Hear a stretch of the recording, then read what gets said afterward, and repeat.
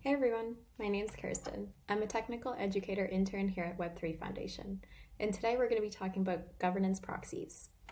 So, governance proxies are solely used to participate in governance on behalf of a primary user account.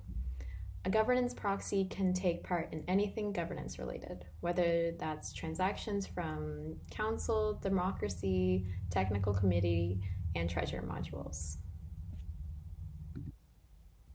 All right, so you might be wondering how does a governance proxy work?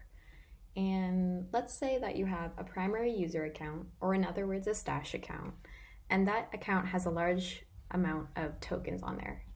However, when participating in governance, you don't want to risk your stash account because it has so many tokens on it. So this is where a governance proxy comes in handy. All right, and so now we're gonna see how to uh, set up how to use the governance proxy. So first we want to head over to polkadot.js.org slash apps. And right now I'm in the accounts tab. So if you go to accounts and click on accounts here, it will bring you to this page. And on this page, you can see all of your accounts. You can see the type of accounts they are, and you can see all of the balances uh, for each of the accounts. And to change your network, it's up here at the top. Right now I'm on Kusama. So we're gonna head over to developer, extrinsics. Okay, and now it's time to set up the actual governance proxy.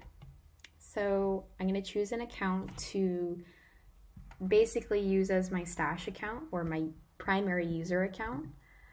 Um, I'm gonna go with this account. All right. And now we're going to choose the proxy pallet, and that will give us access to all of the, the functions that come with proxy. So I'm going to choose that. And here we can see all of the functions that are inside of that pallet. So I want to click on add proxy because I want to add a, a governance proxy. And this right here, um, this is the new account. So this is the new account that gets uh, set as the governance proxy.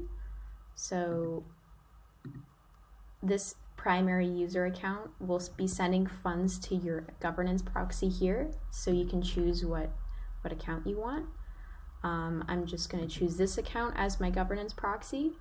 And then in the proxy type, I'm going to set it to governance. And then I would hit submit transaction. I'd enter in my password, and then I would click sign and submit. And that's how you set up a governance proxy.